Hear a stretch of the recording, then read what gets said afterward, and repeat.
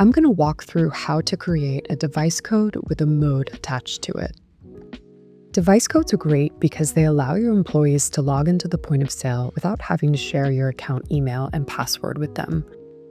By attaching a mode to a device code, you're ensuring that your employees will always be using the correct settings and features associated with that mode.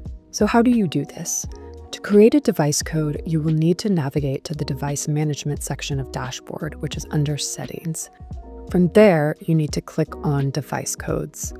To create a device code, click the blue Create button. Say how many device codes you want to create. Most people just need one.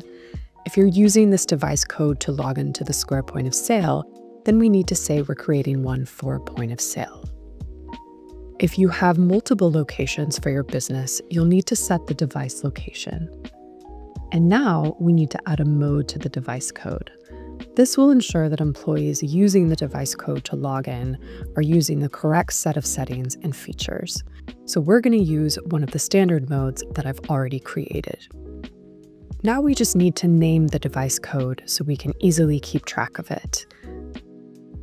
And now we can use this code to log in to the Square point of sale. Also note that you can email this code directly to an employee.